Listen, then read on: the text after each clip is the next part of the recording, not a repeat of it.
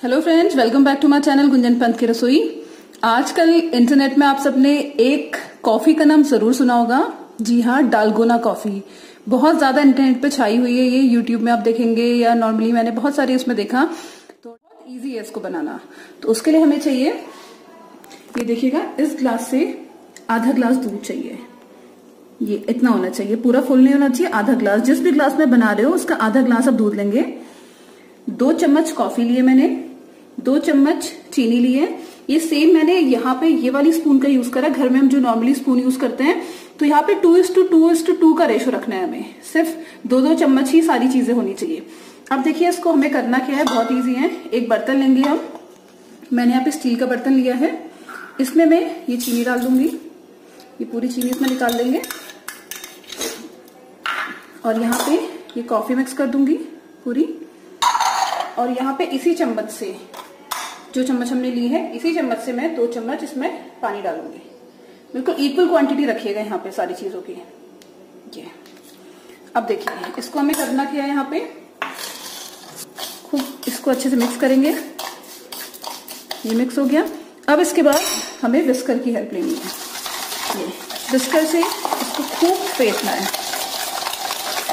अगर आपके विस्कर ना हो तो आप स्पून से भी कर सकते हैं स्पून से टाइम ज़्यादा लगेगा।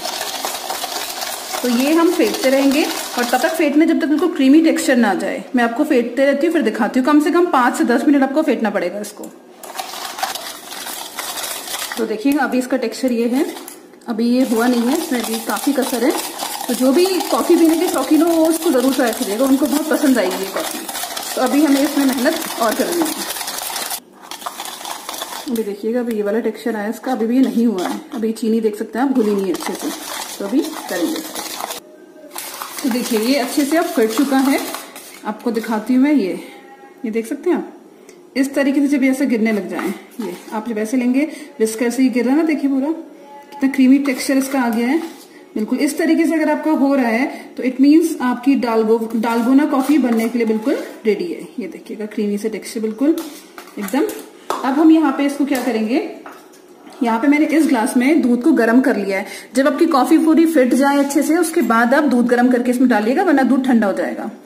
तो अब यहाँ पे एक स्पून की हेल्प से इसमें पूरा ऊपर इसको डालते जाएँगे ये देख सकते हैं आप